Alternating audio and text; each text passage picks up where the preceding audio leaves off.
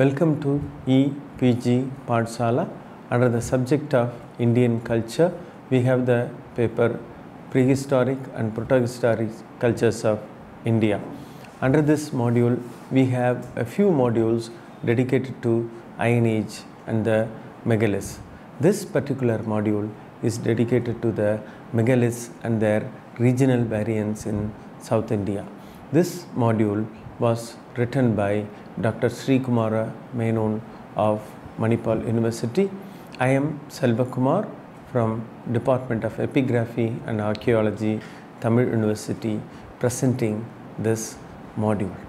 Coming to the megaliths of southern India, we have seen several types in the earlier modules.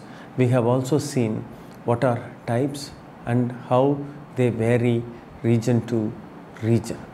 In this particular module, we will look into the distribution of the megalithic types in different parts of India. We also will look into the certain specific, peculiar or unique types which are found in southern India. Mainly in Kerala, we have a few types of megaliths which are very unique and they are not found in other parts of India. So, we will be looking into these megalithic burial types also. When you look at the megalithic burials, you find a lot of variations in their types as well as structure. When you look at these form, you can notice that certain cultural factors have influenced these formation of the types. So, we can understand what cultural factor caused these changes when we closely analyze them. That is why archaeologists focus on understanding the types and its variation and also its distribution. When we look at the megaliths of India, I already mentioned that we find them in parts of India, mainly Kumaon and Himalayas, and also in central India and in peninsular India. In peninsular India, we are finding this megaliths in large number. We have uh, these megalithic burial distributed from Nagpur to Kanyakumari continuously almost. The burials of Maharashtra are distinct in nature. We have several burial types such as cist burials, pit burials, dolmens in the region of Maharashtra. Then coming to south, we have Karnataka which has rich varieties of burial all across the state. We have cist burials, dolmens dominating Karnataka because Karnataka is rich in granite and other rock formation. We find lot of cist burials as well as dolmens in addition to various forms. Coming to Andhra Pradesh, we also have here a lot of burial types.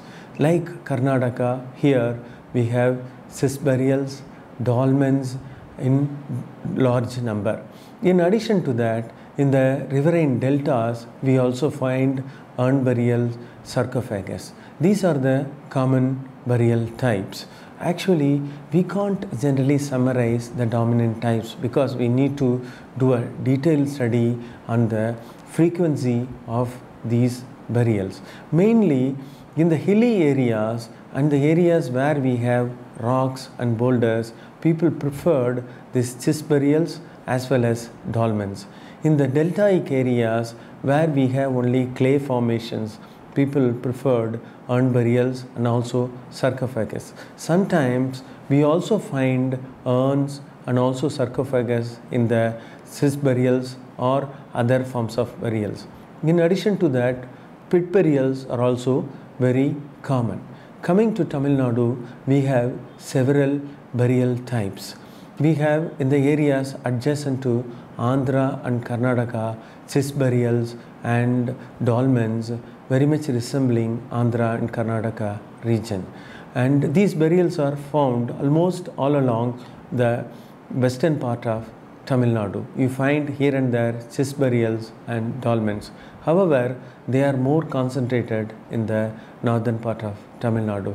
Like Andhra Pradesh, in the deltaic region of Tamil Nadu, we have a lot of urn burials. In fact, urn burials are more common than any other forms of burials. Probably because of the availability of clay, people found that it was easier to make urns and these urns were used in the burials. In the hilly areas of uh, Tamil Nadu, we find dolmens and also chest burials in large number. Coming to Kerala, we have very interesting situation.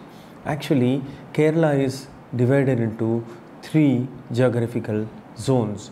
We have the hilly areas up covering the parts of Western Ghats. We have the midland which largely has laterite deposit and then we have coastal areas. In these three different landscapes, we find large varieties of burials and sometimes they are very distinct to a particular region. In the hilly areas of Kerala, we have dolmens dominating the scenario. Some areas we also find chest burials. This hilly areas of Kerala has forest. You may find these dolmens atop hills in the remote areas. Many of the sites of the Keralas have not been uh, still identified. You find the similar situation also in the Tamil Nadu part of the Western Ghats, in Andhra Pradesh and also in the hilly areas of Karnataka you find dolmens frequently. Coming to the middle part of or the middle zone of Kerala you have laterite dominating. It is in this landscape you find lot of peculiar burial types. Coming to the coastal area of Kerala, the same situation what prevails in Andhra and Karnataka and also in Tamil Nadu prevails. In the coastal regions, we find more of urn burials. We can well understand that the distribution of clay caused the formation of more urn type of burials in this particular region. This particular image shows you some of the peculiar megalithic types of Kerala. The megaliths at Ariyanur, they are spreading like the mushroom which you see after the rainy season. They are called Kodakal. Interestingly, we don't have similar burial types in other parts of southern India. That is why we call them as very peculiar to Kerala. In the image at the bottom, you see at the site of Kodakallu Parambu and also at uh, Cheraman Parambu, we see different varieties of peculiar burials. What is described as multiple hood stone. They are also very much found only in Kerala. We need to ask why people were producing such distinct burials. Maybe it is something to do with the local geology and also the perception of the people. We can't attribute everything to the geological factors. We can't just say that people produce certain things just because of geological factors. If we go for such kind of interpretation, we will be really missing the point. Actually, people also have their own cultural creativity. I think it is the cultural creativity or the cultural conception that caused the variation in the burial types. If you take all the megalith forms of South India, you can see that 80% of them are very similar, but 20% of them are very distinct and they mark the cultural characteristics of a particular region. That is how we have to interpret these variant of megalithic burials in Kerala. What you see in this image is a dolmen at Malayapalli in Andhra Pradesh. What makes this dolmen distinct from others is the absence of slabs on the all sides. Normally, in the case of dolmens, we find regular slabs and then on top there is capstone. Here, people have used small blocks of stones as pillars and they have created this particular dolmen. Again, if you notice, this dolmen is found on the dry rock surface. We don't have any remains inside. We don't know whether really people placed the burial remains which were later washed off by the rain activities. However, it seems to be very interesting and distinct. Similar burials are also found in other parts of South India, but they are not very common. In the hills, certain areas they preferred this kind of dolmens. Again, we have to ask why people erected this. Was this meant for one particular individual? Was it really a burial at all? Was it really just a memorial? Or if it has something to do with other cultural activities? These kinds of questions we are not able to answer as of now because we don't know their real significance. This is another dolmen-like burial at Madhavaneri in Andhra Pradesh. Here also you can see they have used different kinds of system here. They don't use the slab structure here. They have just placed some loose pieces of rock and they have supported the dolmen. This is found commonly here. Why we are showing this particular image is to show you how these endemic forms are important, how they are distinct from these commonly occurring forms. This is another important megalithic form. In the megalithic forms, we also have certain peculiar anthropomorphic figures. Anthropo actually refers to human being. Certain megalithic forms look like human beings. When you look at them far, from far away, you may mistake them as for a human being. Already I mentioned that the menhirs are standing tall. Probably they might have been produced for the dead heroes who stood tall in the society by protecting the people from enemies. These anthropomorphic figures are also important because they are peculiar. They are not found commonly. We don't know why people produce such anthropomorphic figures. Probably these people contributed something important to the society and they saw them as a kind of humans even after their death. That is why they wanted to create these kind of human-like figures in the rock rather than just creating a burial. The shape is very important in the study of types. When you have just a burial structure as a dolmen or any other thing as a chest or just a menhir without any shape, you will treat it as a kind of uh, a figure, as a kind of symbol. But when you have a burial in the form of a human being, you are bringing an organic element to the particular figure. You are treating as a human being. Probably by creating these kind of anthropomorphic figures, people thought a dead person could be kept alive in these stone forms. This particular anthropomorphic figure resembles a female. You can see the components of female figures here and it is found at Gutta in Andhra Pradesh. It is one of the unique figures in South India. You can see another view of the anthropomorphic figure at Gutta from Andhra Pradesh. It is lying on the ground. These are the unique anthropomorphic megalithic types of South India. This is another interesting burial type. It is also a rare type which is not found commonly in South India. This is found at Palayam near Kallur in Chittoor district of Andhra Pradesh. You have here at one end a dolmen like figure or dolmen like structure and then in front you have double horn like a uh, structure. This sometime may resemble a porthole. So there is something significant attached to this. Why people created such unique types. We also give lot of titles or lot of valuable objects to important persons in the society. Probably people felt a person who had contributed lot to the society, who had achieved so much in this life should be remembered forever. He is something unique. He or she is something distinct. So his or her burial should be distinct from other.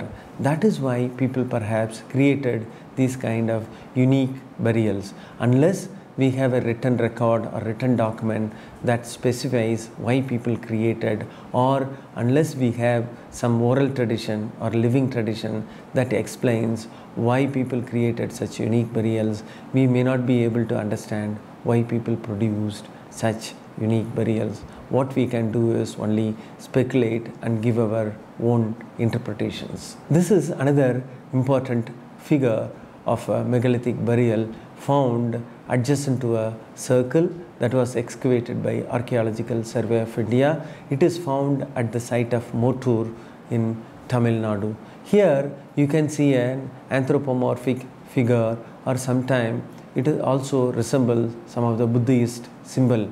You can see two arms like resembling a bird.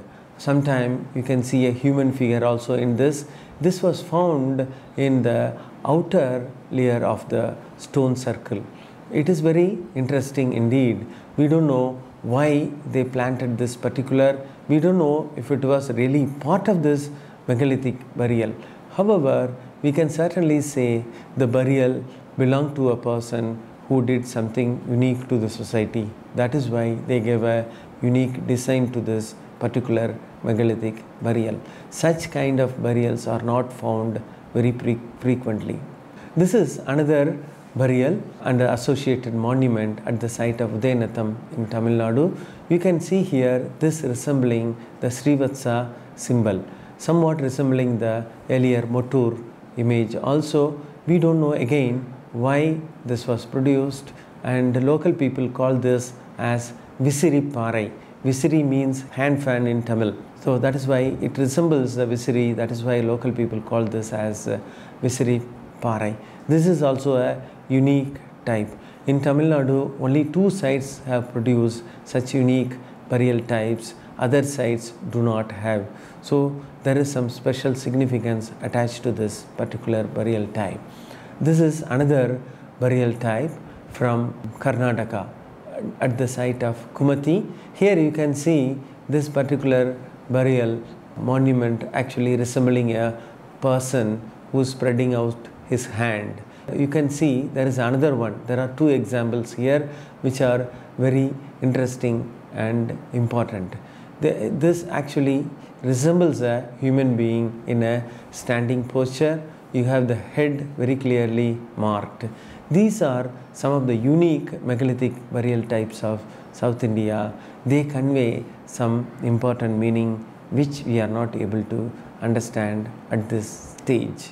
Coming to the Kerala, we have lot of interesting and unique burial types. Kerala is now described as God's own country. Kerala is very unique in the sense it has lot of trees and plants, it is greener because Kerala receives very high rainfall throughout the year. Because of this, Kerala enjoys a salubrious climate and also it's green everywhere.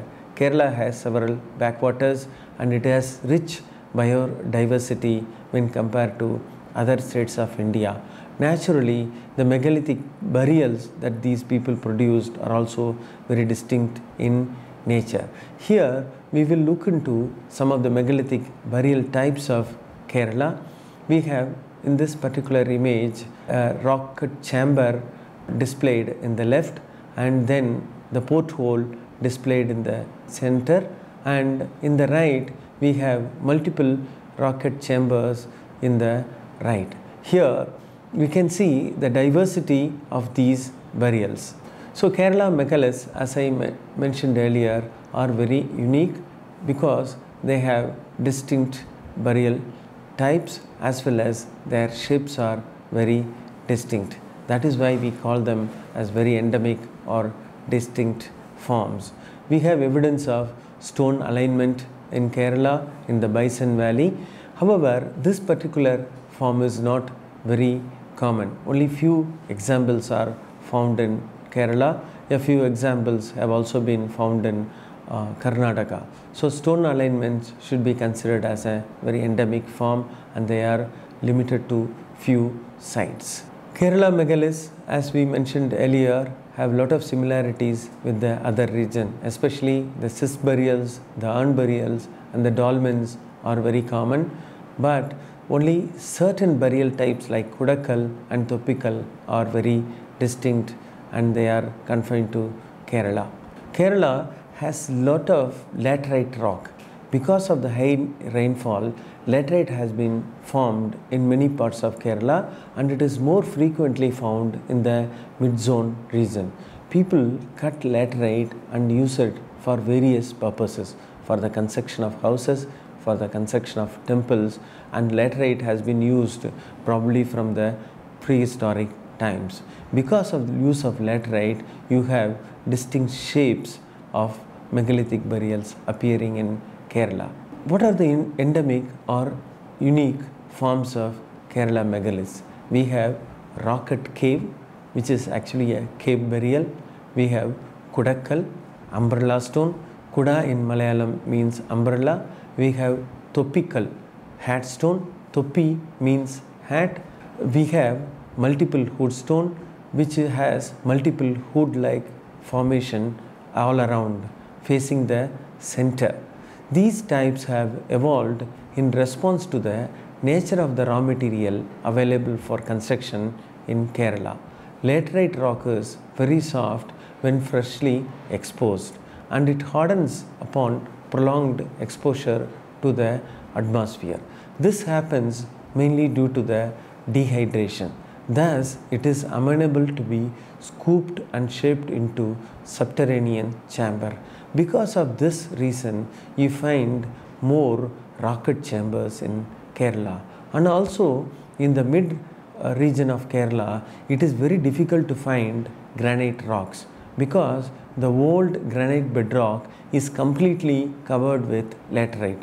If you want to find granite rock, you have to scoop several feet of laterite to find the granite rock.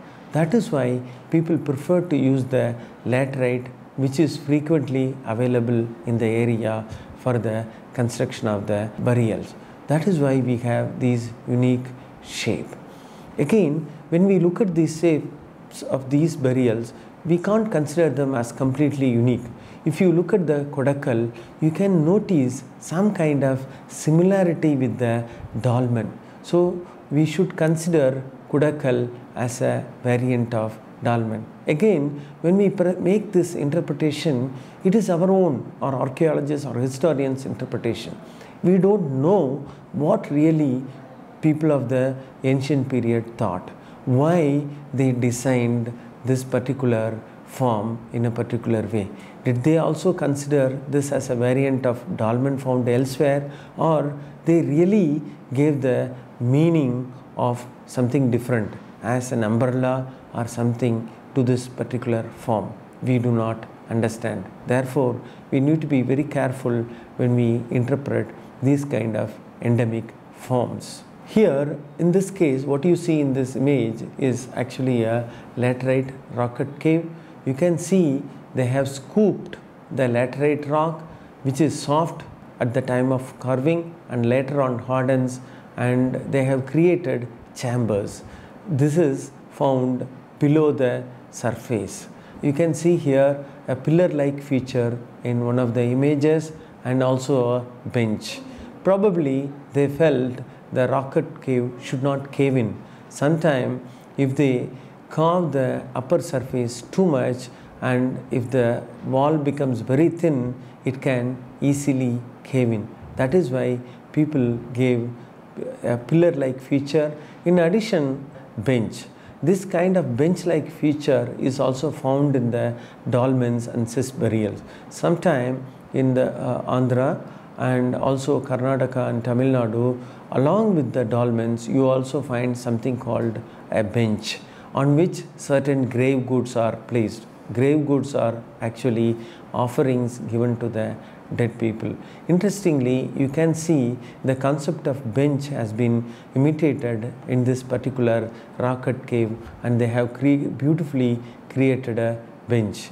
So you can understand how they were you know introducing the architectural concept into these caves.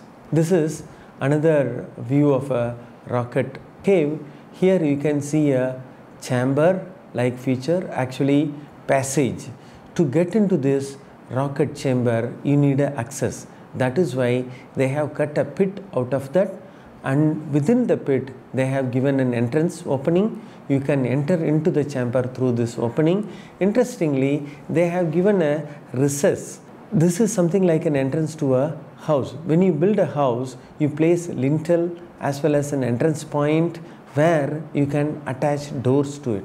The same kind of recess has been he given here which is very interesting. So basically they are imitating the concept of house, house for the living and house for the dead.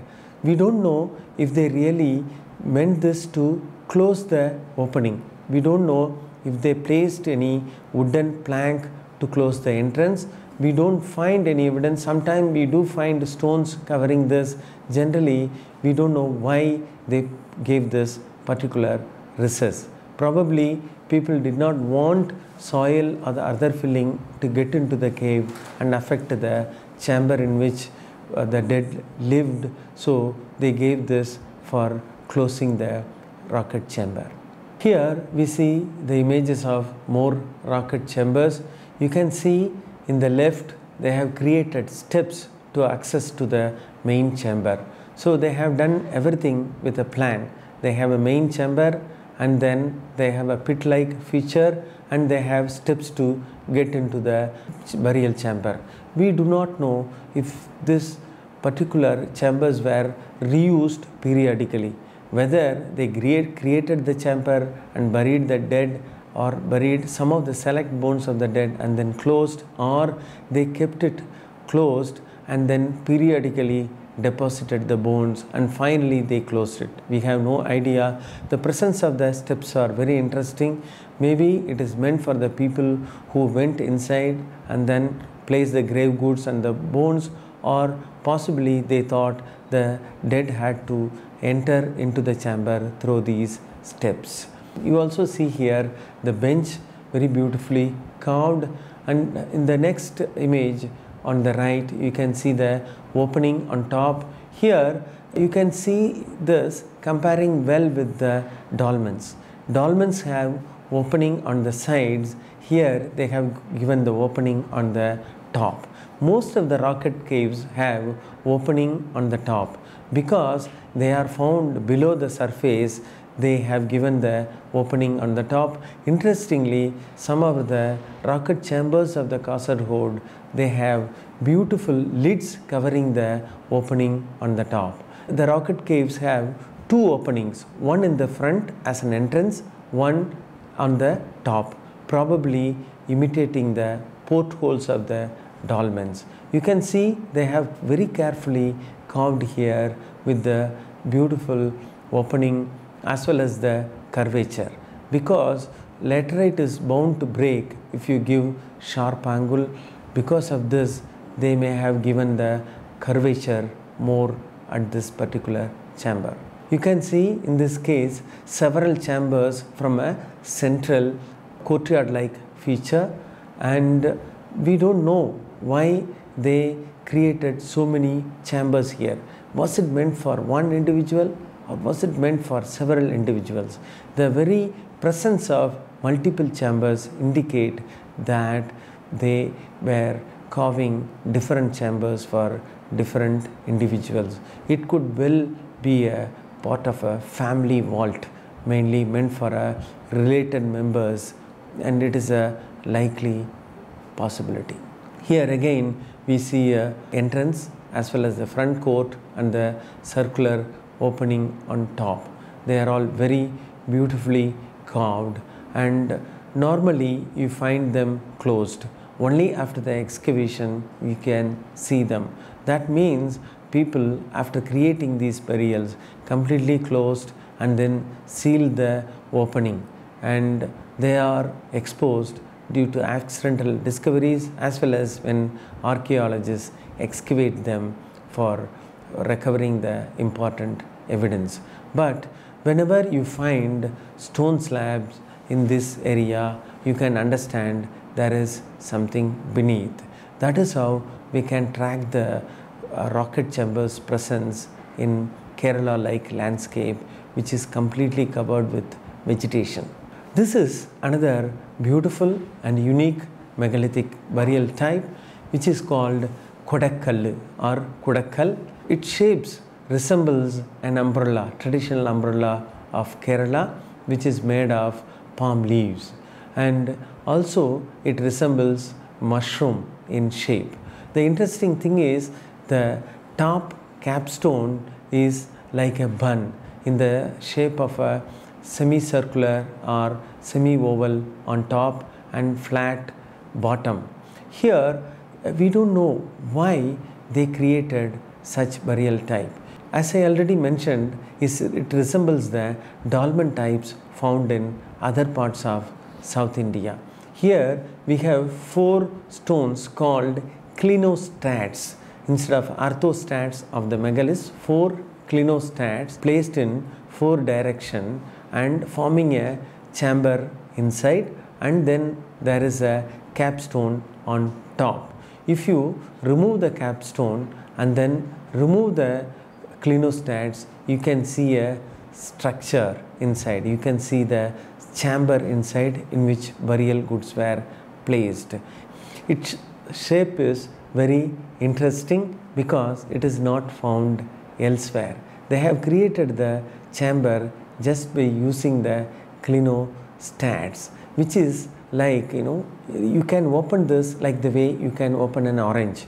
You remove the clinostats you can see a chamber. In the case if you remove the uh, single segments of orange fruit you may not see space inside. But here they have placed the clinostats in such a way that it creates a chamber inside inside.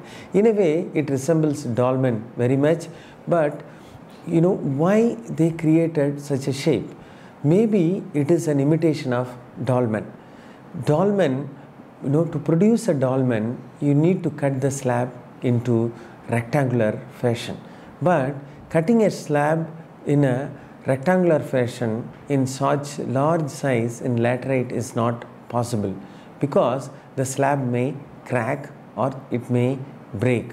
Therefore, they created this specific design and then you know they also they created the capstone such a oval shape. Because laterite if you cut as a square or rectangle in such a large size it may not withstand. Maybe because of this reason they created this particular design. It could be resembling the shape of an umbrella meant for an individual from higher social status that is why they intentionally created this particular shape here you can look into the details of this particular Kodakkallu. You can see the capstone, how it is beautifully placed on the clinostats. On the right hand side, you can see several examples. They have been very beautifully designed such a way to take the capstone on top. Here you have another important burial type called Toppikallu. This is called hat stone in English because it resembles a hat traditional hat worn and it is directly lying on the surface. You can see some similarities between this as well as the Kodakkal. The top stone of the Kodakkal, that is the capstone, is exactly something similar to this particular Toppikal or headstone. In addition, the headstone also has certain holes. We don't know whether it was intentional or it emerged out of the weathering pattern or they may have used it for certain purpose. We have no idea why these kind of hollow depressions or holes are found. But sometimes these holes could be resembling the portholes of the dolmen or the opening in the rock-cut cave. Probably people felt any of the burial should have a kind of opening. It should not be just like a chamber. If it is like a chamber, probably they felt it could be like arresting a person and probably they did not want to do this for the persons they had lot of affections here we have another important megalithic form called multiple hood stones. In this case you see several hood stones placed all around facing the center and they form a chamber but you don't have any capstone here. That is why it is different from the Kodakallu which we discussed earlier. Therefore, it is interpreted as a distinct burial type.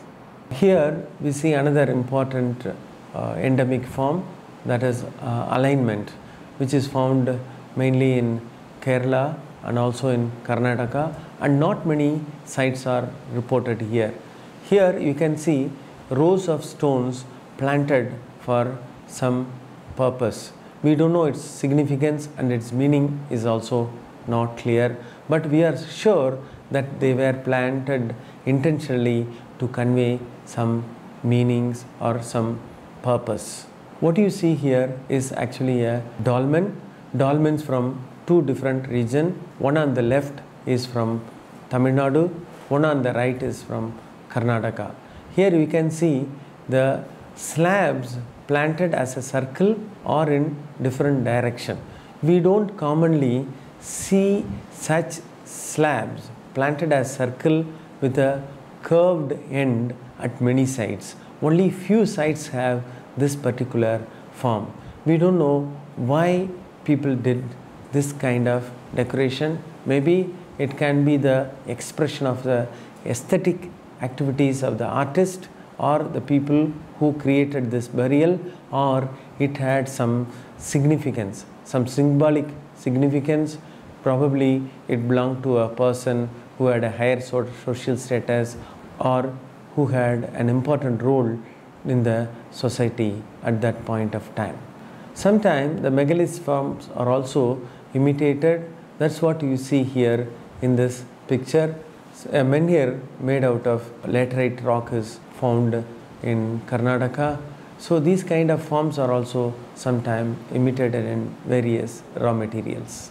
I hope you understood the concept of megalithic forms, the megalithic types and their distribution in different parts of South India and the variations in the structure as well as in design.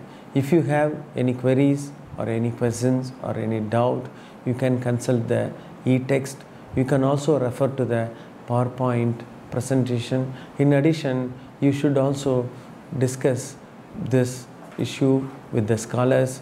You can also refer to research articles and books so that you can get a better understanding. Thank you.